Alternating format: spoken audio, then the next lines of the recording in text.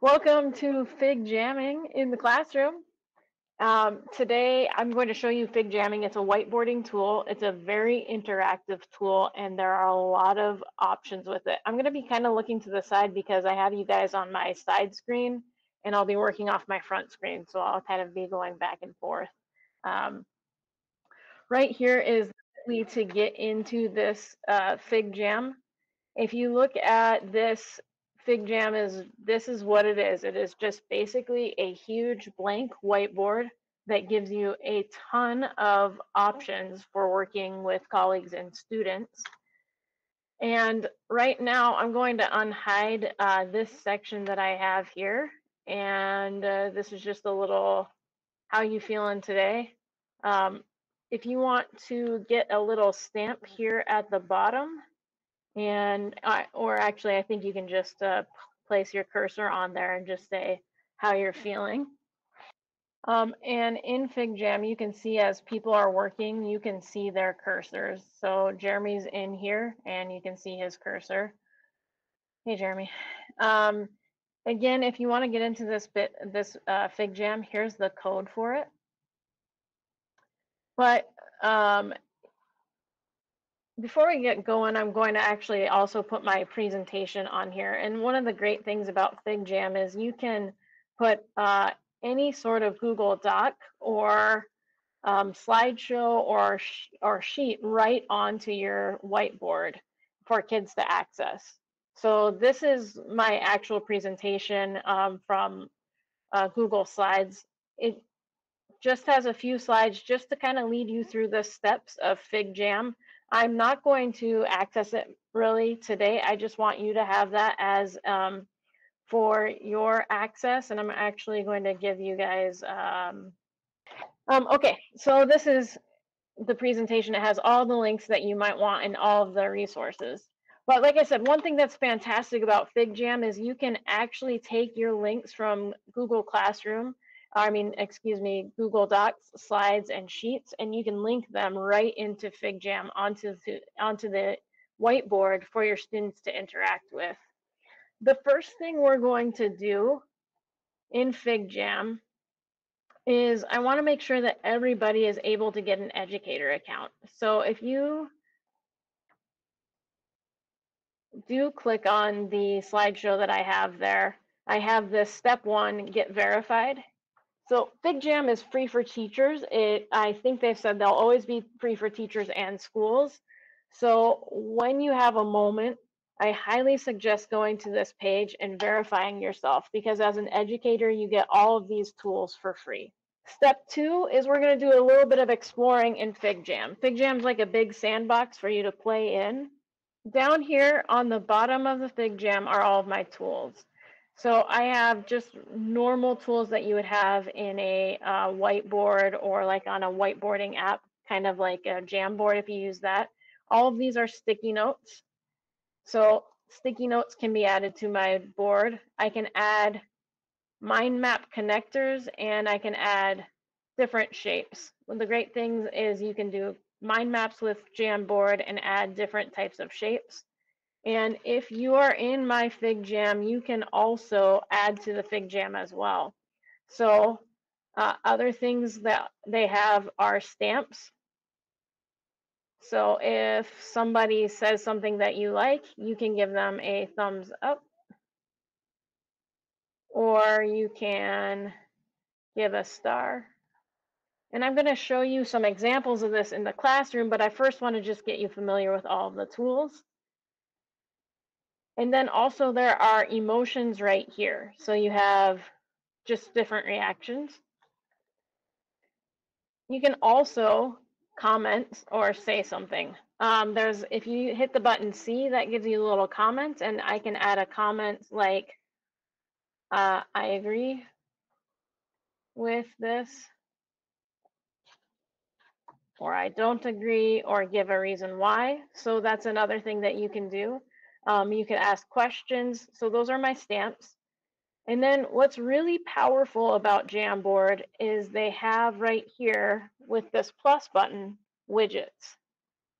So you can add different widgets to your Jamboard. One of my favorites is the photo booth, which is just kind of a silly one. This one, it adds a little camera to your Jamboard and you can take pictures of yourself.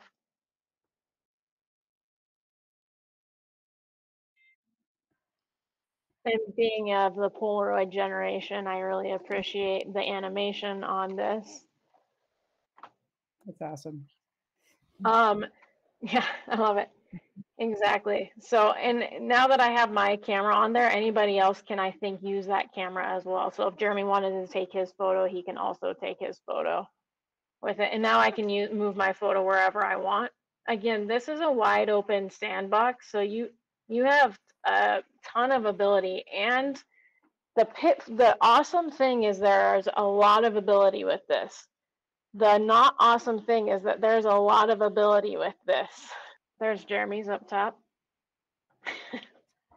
um, and so the abilities that you have as a teacher on Jamboard, students also have those abilities. So as you're looking at Jamboard and thinking about all of the options that are available, just know that those options are available for students too. So as you plan your lessons, as you plan what you might want to do with Jamboard, just think about um, all of the tools that students have as well and how to teach them how to use them um, in, in, an appropriate way. It can be an overwhelming tool. Um, so if start small and then um, then dream a little bit bigger. I think my team, uh, Rochelle is on my team. She's my moderator over here. When we first started playing with um, Jam, uh, FigJam, um, there was a lot of wide eyes like this is a lot uh, of stuff. So so uh, other widgets that they have i already put this widget up here. You can do feelings widgets or i agree disagree. Uh, other things you can do with that is right here you can see i have results revealed but you can also hide the results so that students can share how they're feeling but that the results are hidden. Now here's the caveat of that anybody who has access to this Jamboard can hit to hide the results or share the results. So um, again, just teaching students how to be respectful with the Jamboard um, helps because there's a lot of opportunity, but um, we need to teach our students how to use it well. So if I scroll through the widgets, they have pie chart widgets, they have dice. So you could just, even if you as a teacher wanted to just create a little uh, dashboard for yourself of different things, they have a dice wi a widget. They have a name picker widget, um, a spinner. They have a coin flipper. There are just many widgets that you could use that you could build kind of a screen for yourself within Jamboard. Now, other things that they've built in for um, making things what I think better in the classroom, in my upper left corner, you can see that there's a timer. So if you have students doing a task, you can set a timer and then that timer will be going for that Jamboard. Um, this helps for me personally, this helps me stay on track and then it helps my students stay on track too. Uh, one other thing that I really like that um, I don't usually use with the students, but I mean, if you want to use this um, record player, you can also play a little bit of tunes. I don't know if you guys can hear that on your screen. Can you hear it on your screen too? A little bit. Um, if uh, if not in the classroom, you can definitely hear it if you have that hooked up in the classroom. Now the downside is if you have Chromebooks, um, I believe when you play the music, it's like playing from you know their Chromebooks and such. So, um, but there are a lot of different options uh, and accessories that go with Jamboard. So after I'm done with this, I say your first step is just explore. It's it's a wide open world. There's a lot of things to explore. Uh, I have put on here some tutorials and some ideas from some great some great tech experts. This is Matt from Ditch That Textbook. He has some 20 ideas for templates for Jamboard, and we'll look at some ideas in a minute.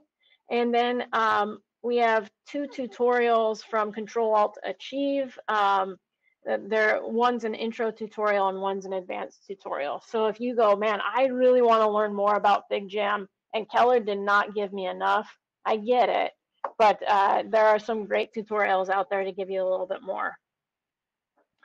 And then this this is the step that we're going to look at. FigJam has a ton of templates for you to use as educators. So I'm just going to hit this and I'm going to go to some of these templates just to give you some ideas of some things that you could do in the classroom with your students. So they have jam boards that compare. They have jam boards that are just icebreakers, like this is animal drawings, um, community activities, reflections, and they have things all the way from uh, elementary school through high school of ideas of different organizers and ways that you can use FigJam. So I'm going to go as an example to this four corners activity. I'm going to open this as a FigJam. And one of the great things about the templates that they've put together is they actually give you kind of instructions on how to use it. So, and like what it's good for. So they have this is good for gauging students' opinions, skill building, and uses. I'm going to zoom in just a little bit. On, on this right side is my zoom in and zoom out button, which is fantastic because sometimes you can get lost on your on your jam, on your FigJam. I, I don't know why I want to call it a Jamboard because this is kind of replacing Jamboard. Um, so four corners, if you have your prompt here in the middle and then you have uh, strongly agree, strongly get disagree, disagree, and agree, and they would pick their corner and decide where they fit in their corner. This would be an opportunity for all of your students to be working together on this same FigJam together. All of them would be in here. They would pick their corner, pick their sticky note, and start working on that. So with FigJam, there are a few ways that you can use it. You can um, use it as yourself as a teacher. Uh, you can use it kind of as a dashboard for yourself to lead you through a few things as you're working with your classroom. Oh, my timer's up. Sorry, we're done, guys. So uh, thanks for coming. No, I'm just kidding. So for instance, if I was teaching, I might put together some sections for myself. I'm going to clear clear this. I'm, I'm not going to clear Jeremy's picture, but I'll clear everything else off. Um, if you are teaching and you say you wanted to have a few videos that you want your kids to watch and you want to have a few things set up, um, you could put those right here on your FigJam um, dashboard. And you could kind of set it up for yourself as kind of, I'm just teaching, these are the things I want to teach. Here's the video I was talking about um, from a Control Alt Achieve. Here's another video that uh, I could put on there. This is the intro one. In the to get it on there, all I have to do is copy the, if I can do it. All I have to do is copy the code and actually paste it straight onto the FigJam and the video goes right into it. So as a teacher, I could use FigJam as just a dashboard for myself just a way to organize everything that I want, all of my um, activities for the day, a name picker, different things like that. If you had a, a touch whiteboard, you might have a how are you feeling the day and have your students come up and or maybe you have your lunch list on there and have your students come up and, and move their name to what lunch they want, those types of things. So that's kind of on the individual, like as a teacher, how you could use it just for yourself for organization. But as far as in the classroom goes, you could create a Jamboard and you could have your students individually work on that Jamboard that you created. So, or you could have them create a Jamboard. For instance, maybe you want them to do a mind map. And so you create a mind map Jamboard and there are tons of them. Or maybe you want them to do a timeline. So I might add this template. Uh, maybe I don't like that one. Sorry about that. Let me do a mind map.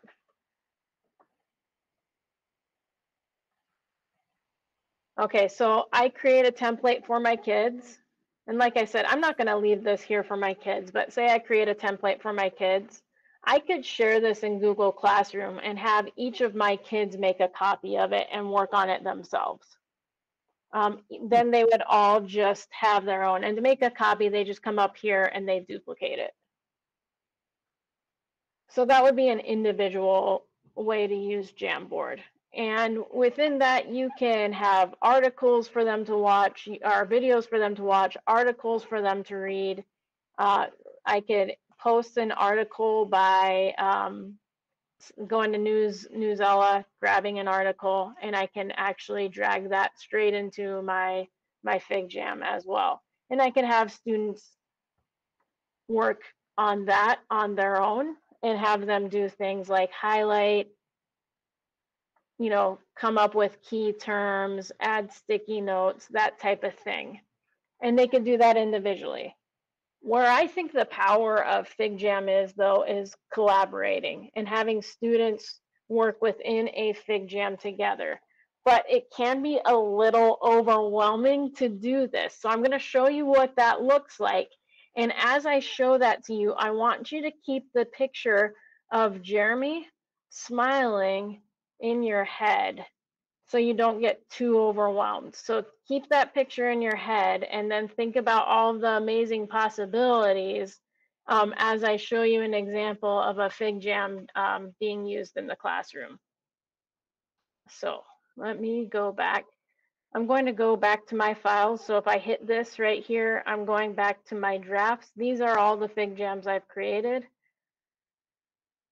And this is a FigJam that was used with college English students. And currently it looks possibly a little bit overwhelming, but I'm gonna break it down step by step how it was used. This was used as like a lesson and then a um, jigsaw puzzle. So I started over here in the corner with what I wanted to start my lesson with, which we were doing a lesson on identifying and evaluating bias. So I had information here about identifying bias.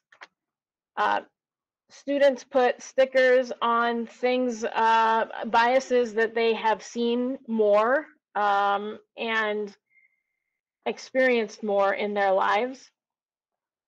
And then one, and then some students found uh, the camera as well, because you always have to find the camera.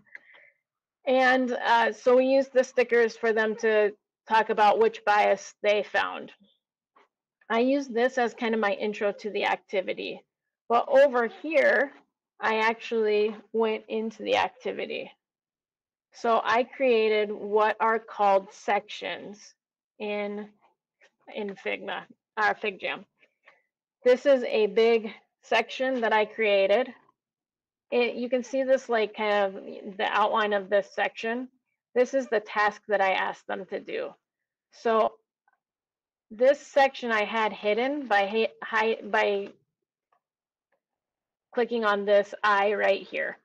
I can hide that section until I'm ready for my kids to look at it. So this isn't so overwhelming. So I created just this section by going to here. This is a little section button. I created that section and then I hit it until the kids were ready to go. And then I split them into colors.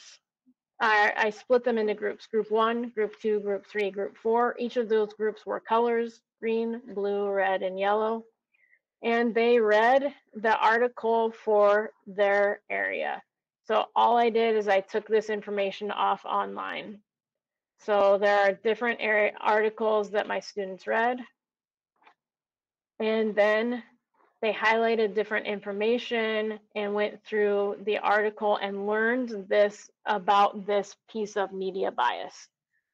Each group had different media bias that they were learning about. So this is the work that all the groups did looking at the different media bias. After that, they mix their groups.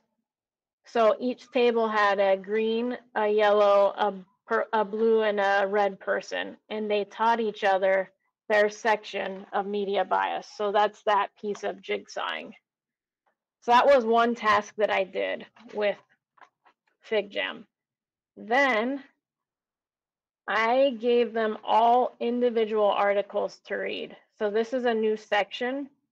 I just copied and pasted an article onto the FigJam, And each student got their own placemat and they, they put their names right here. So the students now got their own articles. Each of them worked on their own placemats to look at their own information. And then I put sticky notes right here on the on the bottom of each of theirs to have them re react to the article that they were reading. They did this for two different articles. Then they all went and looked at the comments and reactions uh, that each other put on their articles and gave stars and stickers to that.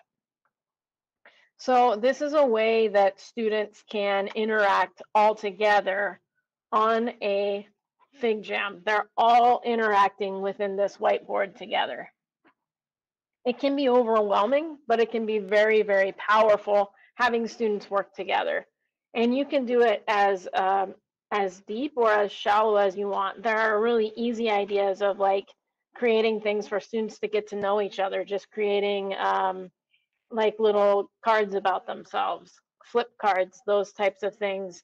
Um, there are a lot of ways to integrate this into the classroom. They can do um, collaborative walls of like things they notice together. They can do um, Venn diagrams together. So there are a lot of ways to have students interact together within a FigJam. And it's really powerful.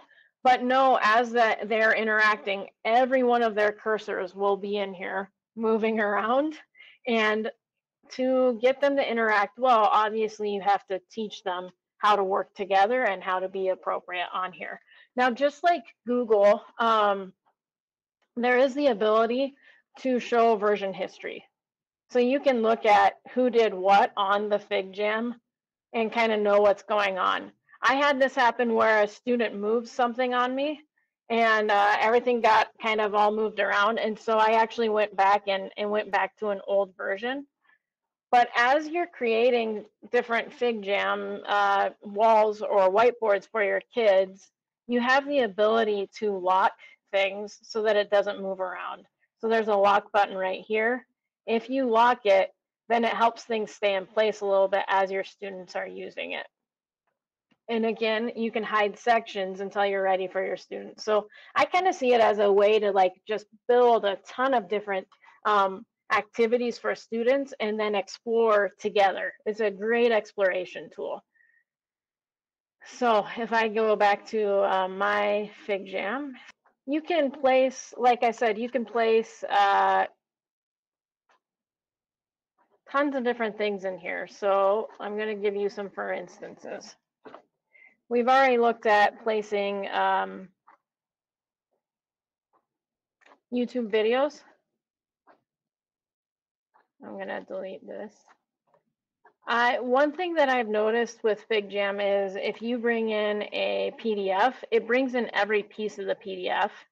And so I actually kind of prefer to take a picture of the PDF and bring in a picture for students to work on. So I just took a picture of uh, Lake ECMECC's uh, latest newsletter, and you can put that on there and have students reading uh, the article. And again, they have all of these tools, markers, highlighters, and things to kind of help them process information. So you can bring in PDFs, you can bring in your um, anything that you've made in Google Docs or Sheets. So I'll show that right here. And to do that, again, all you have to do is copy the link and paste it in. And all of those are then linked directly into your FigJam and students can interact with them. If that works. So my students can go to my uh, my slideshow directly from all of the things that I put in. Uh, other great things you can do, so say you're a science teacher, you can bring in the periodic table and have students interact and color on that. So here's the periodic table. What a great way to work with students and have them process something, they can mark on this, they can label it, they can color it, do all kinds of things. You can do this with maps, you could do this with timelines.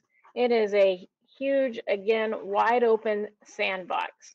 I just got the two minute warning from my colleague, so um, I know that FigJam has a lot to offer, but I'm going to open it up for any thoughts or questions.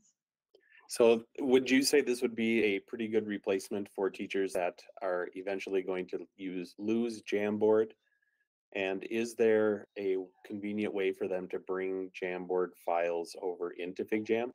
Um, yes, it is. It is kind of what everybody is moving to from Jamboard, and there is a way to move files over.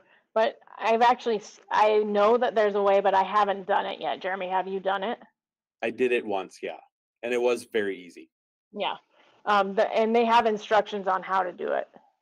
Perfect. I think when I send it out, I might send that um, with stuff with the recording and the when I post it and stuff too. So That that would be helpful. So FigJam, the sky's the limit. I hope that this is exciting to you or helpful to you in your classrooms.